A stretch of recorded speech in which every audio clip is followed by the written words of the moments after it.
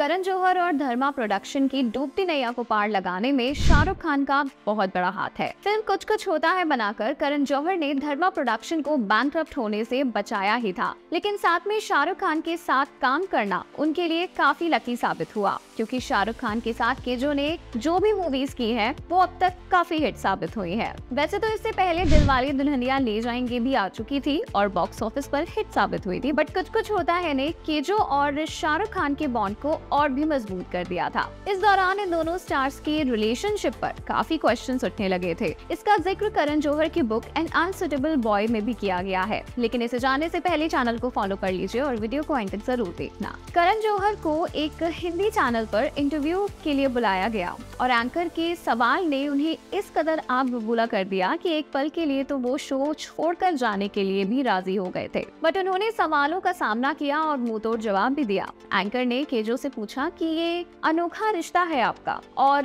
जिस वे में एंकर ने ये सवाल किया था, वो बिल्कुल भी ठीक नहीं था। इस क्वेश्चन पर केजो बहुत नाराज़ हुए और उन्होंने उल्टा वार किया। केजो ने एंकर से कहा if I asked you if you are sleeping with your brother how will you feel so he said what do you mean Karan Johar के इस क्वेश्चन से कुछ पल के लिए एंकर भी सकपक गया। तब फिर से करण ने कहा नो मैटर मेरे और शाहरुख के बीच जो भी अप एंड डाउन रहे हो बट वो हमेशा मेरे लिए एक फादर फिगर रहेंगे। एस आर के मेरे लिए एक बड़े भाई की तरह है। इसके बाद करण जौहर काफ़ी डिप्रेशन में भी रहे। ये खुद करण जौहर ने बताया कि इस बात ने उन्हें बहुत स्ट्रेस दे दिया था क्योंकि उन्हें और एस आर के को लेकर इस तरह की न्यूज़ आना आम बात हो गई थी। हालाँकि एस आर के को इन सबसे कोई फ़र्क नहीं पड़ा था। जब करण ने एस आर के से ये बात शेयर की तो उन्होंने कहा, लोगों का काम ही है कुछ भी कहना। ऐसी बातों पर ध्यान मत दो। करण जौहर ने ये तक कहा कि कुछ लोग मुझसे मेरी सेक्सुअलिटी के बारे में बुलवाना चाहते हैं। लेकिन लोगों को सेटिस्फाई करने के लिए मैं ये कभी नहीं बोलूँगा। Well undoubtedly KJo and S R K की फ्रेंडशिप बहुत अच्छी है। सालों से ये दोनों साथ हैं। ऐसे में इस तरह की र्यूमर्स पर आपकी क्या राय है? Share your views in comment section for more such Bollywood updates and news please follow my love for Bollywood